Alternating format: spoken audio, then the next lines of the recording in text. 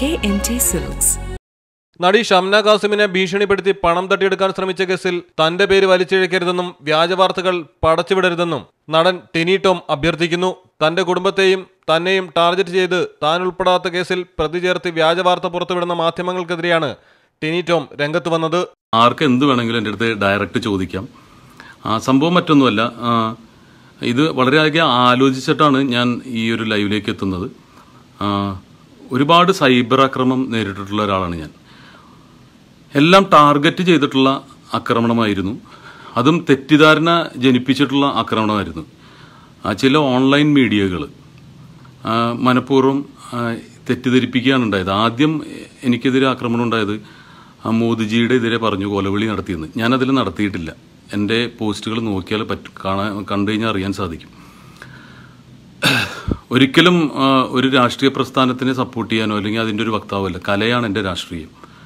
അപ്പോൾ അന്ന് ചില ഓൺലൈൻ മാധ്യമങ്ങൾ അത് വളച്ചൊടിച്ചു. ടിനി കൊലവിളി നടത്തിയിരിക്കുന്നു. പറയാതെ പറഞ്ഞു എന്നൊക്കെ പറഞ്ഞ്. അത് തന്നെ മനുഷ്യനിലേക്ക് അത് ആളി പടർത്താൻ സാധിക്കും. ഞാനതിന് മാപ്പ് പറയുകയും ചെയ്തു. ആ പോസ്റ്റും പിൻവലിച്ചു. എന്റെ സുഹൃത്തുക്കളായിട്ടുള്ള ബി ജെ പി പ്രവർത്തകരുണ്ട്. കേരളത്തിൽ ഒരുപാട് എന്നെ അറിയാവുന്നവർ ഞാൻ അങ്ങനെയുള്ള ഒരാളല്ല. എന്നിൽ വിഷാംശങ്ങളൊന്നുമില്ല അന്ന് പലരും പറഞ്ഞു ഇവനിൽ ഇത്രയും വിഷമുണ്ടെന്ന് അറിഞ്ഞിരുന്നില്ല. അത് കേട്ടപ്പോൾ എനിക്ക് വിഷമമായി. കാരണം ഞാൻ അങ്ങനെ ഉള്ള ഒരാളല്ല. ഞാൻ ചിരിക്കാനും ചിരിപ്പിക്കാനും നടക്കുന്ന ഒരാളാണ്. അതുകൊണ്ട് തന്നെ പല പോലീസ് സ്റ്റേഷനിലും പരാതി കൊടുത്തിരുന്നെങ്കിലും അവരൊക്കെ പിൻവലിക്കാനുള്ള കാരണം എനിക്ക് അബദ്ധം പറ്റിയതാണ് എന്നുള്ളത് മനസ്സിലായിട്ട് തന്നെയാണ്. ഞാൻ ആരോടും പ- പക തീർക്കാനോ അല്ലെങ്കിൽ ധൈര്യം കാണിക്കാനോ ഒന്നുമല്ല. അപ്പോൾ സംഭവിച്ചതെന്ന് പറഞ്ഞിട്ടുണ്ടെങ്കിൽ അതിനുശേഷം വന്നത് രജിത് കുമാറിന്റെ ആർമി ആയിട്ടുള്ള സംഭവമാണ്. അതായത് നമ്മൾ ഏഷ്യാനെറ്റിന്റെ പ്രോഗ്രാമിന് അവർ തന്ന സ്ക്രിപ്റ്റാണ് ഞാൻ സ്റ്റേജിൽ ചെയ്തത്. അദ്ദേഹത്തിനെതിരെ ഒരു വാക്ക് പോലും ഞാൻ അതിൽ പറഞ്ഞിട്ടില്ല. പക്ഷെ ഒരു ടീം സ്ഥിരമായിട്ട് എന്നെ വിളിച്ചിട്ട് അതായത് ഒരു ഹസ്ബൻഡും വൈഫും കൂടി ഇരുന്നിട്ട് ഹസ്ബൻഡും വൈഫാന്ന് പറയും ആദ്യം ആണ് വിളിക്കും പിന്നെ പെണ്ണ് വിളിക്കും.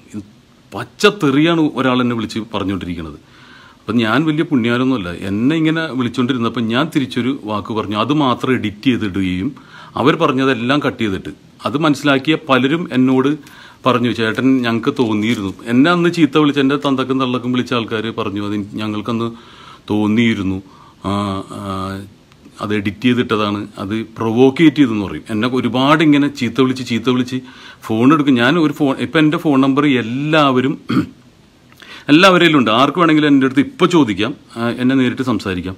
പിന്നീട് ഇപ്പോൾ വന്നൊരു സംഭവം എന്ന് പറഞ്ഞിട്ടുണ്ടെങ്കിൽ ഞാൻ ഒരു വിധത്തിലും ഇടപെടാത്തൊരു കാര്യം ഷംന കാസിമിന്റെ ഒരു കാര്യത്തിൽ വളരെയധികം വിഷമം തോന്നിയത് മറ്റൊന്നുമല്ല.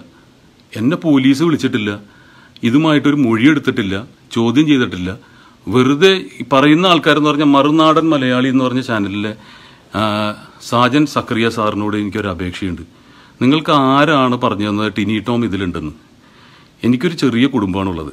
എന്റെ അമ്മ വളരെയധികം വിഷമിക്കും. നിങ്ങൾ ന്യൂസ് ഇല്ലാത്ത ന്യൂസ്. ഒന്നില്ലെങ്കിൽ പോലീസ്. ഇത് ഞാനിപ്പോൾ എം എൽ എക്ക് എം പിക്കും പരാതി കൊടുത്തിട്ടുണ്ട്. മറ്റൊന്നുമല്ല അവർ വിളിച്ച് ചോദിച്ചു. ഞാനിപ്പോൾ തിരുവനന്തപുരത്താണ്. കാരണം ഡി ജി പിയെ വിളിച്ചു ചോദിക്കുക. ഞാൻ ആ കേസിൽ ഏതെങ്കിലും വിധത്തിൽ ഉൾപ്പെട്ടിട്ടുണ്ടോ? അല്ലെങ്കിൽ ജിജിമോൻ അസിസ്റ്റന്റ് കമ്മീഷണർ ഉണ്ട് അദ്ദേഹത്തിനെ വിളിച്ചു ചോദിക്കുക. അദ്ദേഹമാണ് ഇത് അന്വേഷിക്കുന്നത്. ടിനി ടോം എന്ന് പറയുന്ന ഒരാൾ ഏതെങ്കിലും വിധത്തിൽ അല്ലെങ്കിൽ പ്രതികൾ എന്നെക്കുറിച്ച് കുറ്റം പറഞ്ഞിട്ടുണ്ടോ അല്ലെങ്കിൽ ഷംന എന്നെക്കുറിച്ച് പറഞ്ഞിട്ടുണ്ടോ നിങ്ങൾ വെറുതെ അന്തരീക്ഷത്തിൽ നിന്ന് ഊഹിച്ചെടുത്തിട്ട് മറുനാടൻ മലയാളി ഇത് പറയുമ്പോൾ വിഷമിക്കുന്ന അത് ഞാൻ മാത്രമല്ല എന്റെ വിഷമം പോട്ടെ. എനിക്കൊരു കുടുംബമുണ്ട് എനിക്ക് ഭാര്യയുണ്ട് കുട്ടിയുണ്ട്. ഇത്രയും കാലം അധ്വാനിച്ചിട്ട് തന്നെ അതായത് ഒരുപാട് കാലം കഷ്ടപ്പെട്ടിട്ട് ഞാൻ സിനിമയിലെത്തിയത്. ഒരു സൂപ്പർ സ്റ്റാറിന്റെ മകനായിട്ടോ അല്ലെങ്കിൽ ഞാൻ സൂപ്പർ സ്റ്റാറായിട്ടോ വന്നതല്ല. ഞാൻ വലിയ നടനും അല്ല വലിയ മിമിക്രിക്കാരനും അല്ല. നടന്മാരിൽ ഇങ്ങേ അറ്റത്തെ ഏറ്റവും ചെറിയ നടനാണ്. പലരും എന്നെ ഇൻസൾട്ട് ചെയ്തൊക്കെ സംസാരിക്കാറുണ്ട്. പക്ഷെ ഞാൻ വലിയ നടനോ ഇതൊന്നും ഞാൻ അവകാശപ്പെടുന്നില്ല. പക്ഷെ ഒരുപാട് കഷ്ടപ്പെട്ടിട്ടാണ് ഞാൻ ഇവിടം വരെ എത്തിയത്. എനിക്ക് അർഹതപ്പെടാത്ത ഒരു സാധനവും ഞാൻ നേടിയെടുത്തിട്ടില്ല.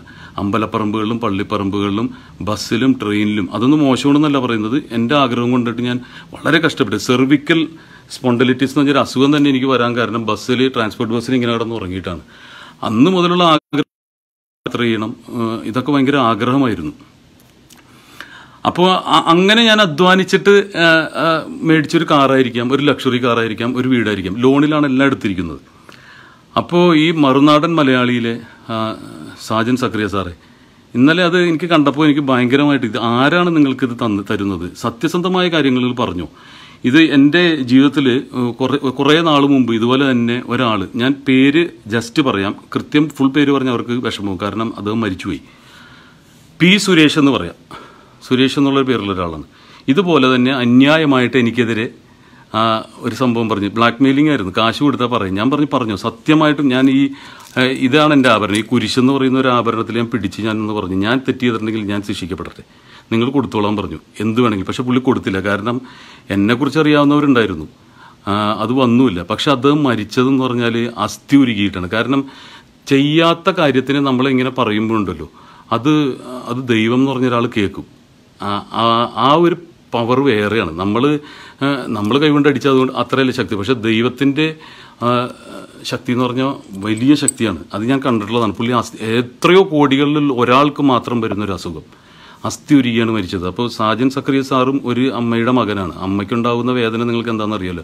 പ്രായമായിരിക്കുന്ന അമ്മയാണ്. പ്രത്യേകിച്ച് ഇപ്പോൾ കൊറോണയും ബുദ്ധിമുട്ടും പ്രശ്നങ്ങളും ഒക്കെ ആയിട്ടിരിക്കുകയാണ്. എന്തുകൊണ്ടാണ് എന്നെ ടാർഗറ്റ് ചെയ്യുന്നതെന്ന് എനിക്ക് മനസ്സിലാവുന്നില്ല. ഞാൻ ഈ- മറുനാടൻ മലയാളി നടത്തിയ ഒരു ഫിലിം അവാർഡ്സിന് ചെന്നില്ല. അന്ന് എനിക്കൊരു ഹോസ്പിറ്റൽ കേസ് വന്നിരുന്നു വീട്ടിൽ അപ്പോൾ അതിന്റെ വൈരാഗ്യം വെച്ചാണോ? അല്ലെങ്കിൽ ഞാൻ എന്തെങ്കിലും ഇന്റർവ്യൂ തരാത്തതിന്റെ പേരിലാണോ എന്ന് എനിക്കറിയില്ല. അപ്പോൾ അതിൽ വലിയധികം വിഷമമുണ്ട്. കാരണം എന്നെ ഉൾപ്പെടുത്തി. ഒരാളും പറയാത്ത അതായത് പ്രതിയോ പ്രതിയോ ഷംനയോ അല്ലെങ്കിൽ പോലീസോ പറയാത്ത ഒരു കാര്യം എന്നെ എന്തിനാണ് ഈ അന്തരീക്ഷത്തിൽ നിന്ന് ആവാഹിച്ചെടുത്തിട്ട് ഒരു ഊഹാപോഹം വെച്ചിട്ട്? ഞാൻ എടുത്തതിന്റെ കൃത്യമായിട്ട് ഞാൻ മേടിച്ചിട്ടുള്ള സാധനങ്ങൾ കൃത്യമായ കണക്കുണ്ട് ജി എസ് ടിയും ഇൻകം ടാക്സ് ഒക്കെ ഫയൽ ചെയ്തിട്ടുണ്ട് കൃത്യമായിട്ട് പോകുന്ന ഒരാളാണ് സച്ചിൻ പറയുന്ന പോലെ സച്ചിൻ എനിക്ക് ഇഷ്ടമുള്ളതാണ് കാരണം chase your dreams but make sure you don't find short cuts short കട്ടിലൂടെ വന്ന ആളല്ല ഞാൻ. ഞാൻ അമ്മയുടെ എക്സിക്യൂട്ടീവ് മെമ്പർ ആയിരുന്നെങ്കിൽ എന്റെ സത്യസന്ധമായ പ്രവർത്തനവും കൃത്യനിഷ്ഠയും കൊണ്ട് മാത്രം ആരെയും മണിയടിച്ചിട്ടില്ല. അപ്പോൾ എനിക്ക് വളരെയധികം വിഷമമുണ്ട്. നമ്മൾ ഇപ്പോൾ ഒരു പോസ്റ്റ് ഇടുകയാണ്. ഇപ്പോൾ സുരേഷ് ഗോപി ചേട്ടൻ എനിക്ക് വലിയ ഇഷ്ടമുള്ള ഒരാളാണ്. രാഷ്ട്രീയം വെച്ചിട്ടല്ല. അപ്പോൾ അദ്ദേഹം എനിക്ക് അപകടങ്ങൾ വന്നപ്പോൾ എന്റെ പിതാവ് മരിച്ചപ്പോൾ എനിക്ക് ബുദ്ധിമുട്ടുകൾ വന്നപ്പോൾ എന്നെ പേഴ്സണലായിട്ട് വിളിച്ച് ഒരുപാട് സമാധാനിപ്പിച്ചിട്ടുള്ള ഒരാളാണ്. ഒരു സഹോദരനെ പോലെ. സ്ഫടികൻ ജോർജ് എന്ന് പറയുന്ന ഒരാൾക്ക് ബുദ്ധിമുട്ട് വന്നപ്പോൾ ഞാൻ അദ്ദേഹത്തിനോട് ഞാൻ അദ്ദേഹം സഹായിച്ചിരുന്നു. അതുപോലെ ഒരുപാട് കാര്യങ്ങൾ. അപ്പോൾ ആ അദ്ദേഹവുമായിട്ട് ഒരുമിച്ചിരിക്കുന്ന ഒരു ഫോട്ടോ ഇട്ട് കഴിഞ്ഞാൽ ഉടനെ തന്നെ അത് സംഘികളെ സൂചിപ്പിക്കാനാണെന്ന് പറഞ്ഞ് കുറേ പേര് പറയും. ഇപ്പോൾ ശൈലജ ടീച്ചറും പിണറായി വിജയൻ സാറും ഒക്കെ ചെയ്യുന്ന പ്രവർത്തനങ്ങൾ കണ്ടിട്ട് അതിന് നല്ലൊരു കമന്റ് ഇട്ട് കഴിഞ്ഞാൽ ഉടനെ തന്നെ നമ്മൾ കമ്മിയാവും. അങ്ങനത്തെ ഒരു കാലഘട്ടത്തിലാണ് ജീവിക്കുന്നത്. എല്ലാ പ്രസ്ഥാനങ്ങളിലും എനിക്ക് സുഹൃത്തുക്കളുണ്ട്. അവർ നല്ലത് ചെയ്യുമ്പോൾ ഞാൻ എന്റെ പോസ്റ്റിൽ ഇടാറുണ്ട്. പ്രത്യേക രാഷ്ട്രീയ സ്നേഹം കൊണ്ടോ ഒന്നുമല്ല. ഞാൻ അന്ധമായിട്ടൊരു രാഷ്ട്രീയത്തിലും വിശ്വസിക്കുന്നില്ല. ഞാൻ വിശ്വസിക്കുന്നത് സ്നേഹത്തിലാണ്. എനിക്ക് ഒരിക്കലും ഒരു പ്രസ്ഥാനം പറയുന്നത് പോലെ അല്ലെങ്കിൽ ഞാൻ ഇലക്ഷന് മത്സരിക്കാൻ ഒരിക്കലും ഉദ്ദേശിക്കുന്നില്ല. പിന്നെ ചാരിറ്റി പരിപാടികൾ ഞാൻ സ്വന്തമായിട്ടാണ് ചെയ്യുന്നത്. ഒരു ടീമിന്റെയും കൂടെ അല്ല. തിരുവനന്തപുരം മുതൽ കഴിഞ്ഞ അതിന്റെ മുമ്പ് രണ്ടായിരത്തി പതിനെട്ടിൽ വെള്ളപ്പൊക്കം ഞാൻ നേരിട്ടിട്ടുള്ളവരാണ്. ഒരു വെള്ളപ്പൊക്കം അനുഭവിച്ചതുകൊണ്ട് കഴിഞ്ഞ വർഷം ഞാൻ അനുഭവിച്ചുകൊണ്ട് മറ്റുള്ളവർക്ക് എന്തെങ്കിലും സഹായം ചെയ്യണം. നമ്മൾ അനുഭവിച്ചു കഴിയുമ്പോഴാണ് അതിന്റെ ബുദ്ധിമുട്ട് അറിയുന്നത്. തിരുവനന്തപുരം മുതൽ ഇവിടം വരെ എറണാകുളം വരെ വന്നിട്ട് അത് അൻപോട് കൊച്ചിക്ക് കൈമാറുകയും ഒരുപാട് പാവങ്ങളാണ് സഹായിച്ചത് പണക്കാരല്ല കേട്ടോ പണക്കാർ കുറ്റം പറഞ്ഞല്ല തട്ടുകടക്കാരും വഴിയിൽ നിൽക്കുന്ന പലചരക്കടക്കാരൊക്കെ അരിയായിട്ടൊക്കെ എനിക്ക് കൊണ്ടുവന്ന് ഒരു വണ്ടിയിൽ പോയിട്ട് ഒരു ബാ എന്റെ ബാക്കിൽ രണ്ട് ലോറി വന്നെന്നുള്ളതാണ്. ഇതൊന്നും ഞാൻ ഇപ്പോൾ എന്റെ സിനിമയ്ക്ക് ആൾ കയറണമെങ്കിൽ നല്ല സിനിമയാണെങ്കിലും കയറുള്ളൂ. ഇതൊന്നും കാണിച്ചുകൊണ്ട് നടക്കില്ല പക്ഷേ അനുകമ്പ എന്റെ ജന്മന എനിക്ക് കിട്ടിയിരിക്കുന്നതാണ്. വളരെ കഷ്ടപ്പെട്ട് ഇവിടം വരെ എത്തിയിട്ടുള്ളത്. ഒരിക്കലും എനിക്കൊരു ഗോഡ് ഫാദർ എന്ന് പറയുന്ന ഒരു സംഭവമില്ല. മമ്മൂക്കയും രഞ്ജിയേട്ടനൊക്കെ എന്നെ സഹായിച്ചിട്ടുണ്ട്. ബാക്കിയെല്ലാം ഞാൻ സ്വന്തമായിട്ട് അധ്വാനിച്ചിട്ടാണ്. ടി വിയിലും അമ്പലപ്പറമ്പിലും പള്ളിപ്പറമ്പിലും പ്രോഗ്രാം നടത്തി ചാനലിൽ പരിപാടി നടത്തി ലോൺ എടുത്തിട്ടൊക്കെയാണ് ഓരോന്ന് ഈ- ഉറുമ്പ് കൂടുകൂട്ടുന്ന പോലെ കഷ്ടപ്പെട്ടുണ്ടാക്കിയെടുത്താണ് അത് ഒരിക്കലും ഒരു കള്ളക്കടത്തുകാരന്റെയോ എന്റെ അമ്മയും അപ്പനും എന്നെ അത് പഠിപ്പിച്ച് തന്നിട്ടില്ല. പക്ഷേ ഷംനയുമായിട്ട് ചേർത്തിട്ട് ഈ ഭീഷണിപ്പെടുത്തിയ സംഘത്തിലുണ്ടെന്ന് മറുനാടൻ മലയാളി എന്നെ പറഞ്ഞപ്പോൾ എന്ത് തെളിവിലാണ് നിങ്ങളത് പറഞ്ഞത്? എന്റെ അളിയൻ വക്കീലാണ്. ബെന്നി വർഗീസ് ഹൈക്കോടതിയിലും അതുപോലെ തന്നെ ആലുവ കോടതിയിലൊക്കെ പ്രാക്ടീസ് ചെയ്യുന്ന ആളാണ്. അദ്ദേഹത്തിനോട് കൂടി ചോദിച്ചിട്ടാണ് ഞാൻ ഈ പറയുന്നത്. നിയമപരമായിട്ട് നേരിടാൻ പറ്റുന്ന സാധ്യതയുള്ള സാധ്യതയല്ല ഉണ്ട് നിയമപരമായിട്ട്. പക്ഷേ അതല്ല മനുഷ്യത്വം എന്ന് പറഞ്ഞൊരു സംഭവമില്ലേ സാറേ സക്രിയ സാറേ? നമ്മളൊക്കെ സൈഡിൽ കൂടി ജീവിച്ചു പോകുന്ന ഒരാളാണ്. ആയിട്ട് ജനിച്ച ആളല്ല. ഒരുപാട് കഷ്ടപ്പെട്ട് ഉറക്ക തിന്നിട്ടാണ് നമ്മൾ വന്നിരിക്കുന്നത്. നിങ്ങളുടെ ഒരു പരിപാടിക്ക് വരാണ്ടിരുന്നോ അല്ലെങ്കിൽ നിങ്ങൾക്കൊരു ഇന്റർവ്യൂ തന്നില്ല എന്ന് പറഞ്ഞിട്ട് വൈരാഗ്യം തീർക്കരുത്. എങ്ങനെയെങ്കിലും ജീവിച്ചു പോയിക്കോട്ടെ. ഒരിക്കലും ഞാനിവിടെ കള്ളക്കടത്തുകാരായിട്ടോ മറ്റുള്ളവരെ ചീത്ത പറഞ്ഞിട്ടോ അല്ല വന്നിട്ടുള്ളത്. അതുകൊണ്ട് ഞാൻ പറയുകയാണ് ഈ സുരേഷ് എന്ന് പറഞ്ഞ ഒരാൾ പി സു ഞാൻ പി ഇനീഷ്യലാണ് പറയുന്നത് അറിയാവുന്നവർക്ക് അറിയാൻ പറ്റും. അദ്ദേഹം എന്നെ വേദനിപ്പിച്ചത് കൊണ്ടല്ല ഒരുപാട് പേര് അദ്ദേഹം ഇതുപോലെ തന്നെ ബ്ലാക്ക് മെയിൽ ചെയ്ത് വേദനിപ്പിച്ചിട്ടുണ്ട്.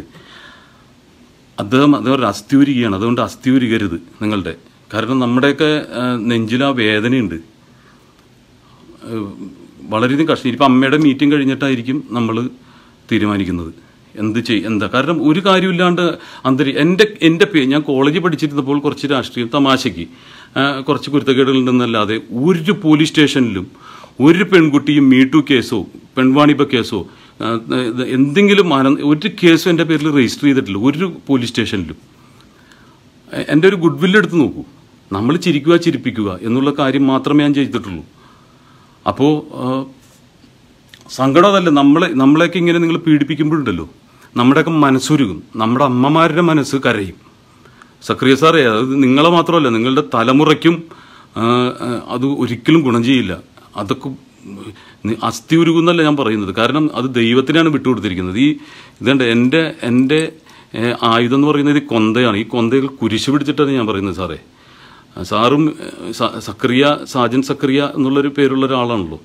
സാറും പള്ളിയൊക്കെ കണ്ടിട്ടുണ്ടാവും കുരിശിന്റെ ശക്തി അറിയാൻ പറ്റും. ഞാൻ വർഗീയത പറയുന്നതല്ല ഞാൻ കണ്ട ദൈവമാണ്. അതുകൊണ്ട് പറയുകയാണ് ഒരിക്കലും എന്നെ ഒന്നും ഇങ്ങനെ ഉപദ്രവിക്കരുത് ഒരു പരിപാടിക്ക് വന്നില്ല എന്ന് പറഞ്ഞിട്ട്. വളരെയധികം വിഷമമുണ്ട്. അപ്പോൾ തീർച്ചയായിട്ടും എനിക്ക് പറയാനുള്ളത് മറ്റൊന്നുമല്ല.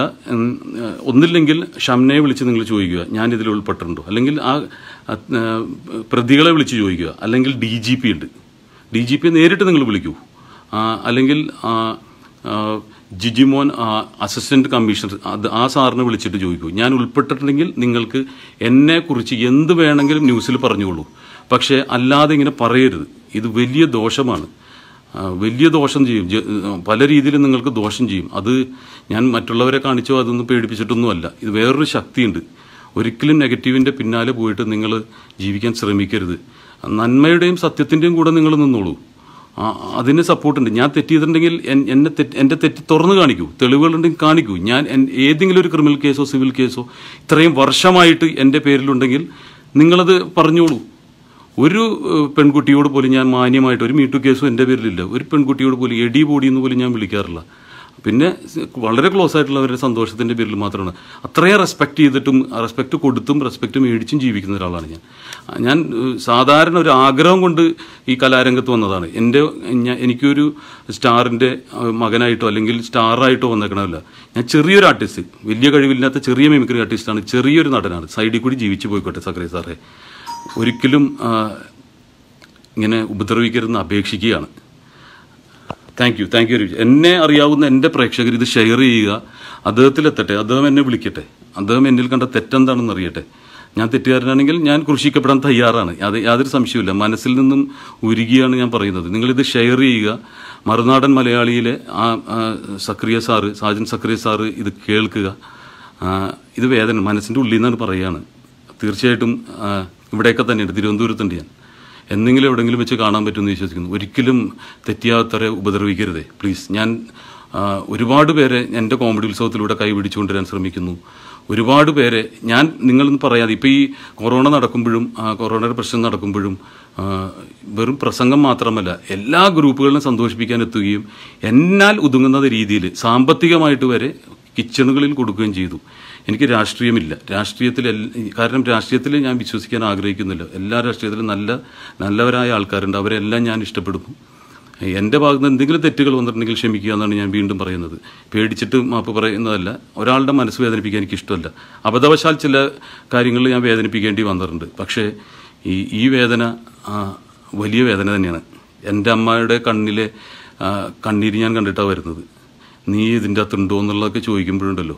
ഇത്രയും കാലം എനിക്ക് ജന്മം തന്ന അമ്മയുടെ മുമ്പിലിരുന്നിട്ട് എനിക്ക് സത്യം ചെയ്യേണ്ടി വന്നു. സത്യം ചെയ്യേണ്ടി എന്ന് പറഞ്ഞിട്ടുണ്ടെങ്കിൽ ഈ അങ്ങനെയാണല്ലോ കാര്യങ്ങൾ. അപ്പോൾ ഇത് സത്യം അറിഞ്ഞിട്ട് നിങ്ങൾ പ്രചരിപ്പിക്കുക. അല്ലാതെ കിട്ടുന്ന ഒരു ഒരു വേർക്കാത്ത കാശ് ഒരിക്കലും നിലനിൽക്കില്ല. തലമുറകൾക്ക് ഗുണം ചെയ്യില്ല സാറേ. Designer wedding stories K N T silks for the bold and beautiful.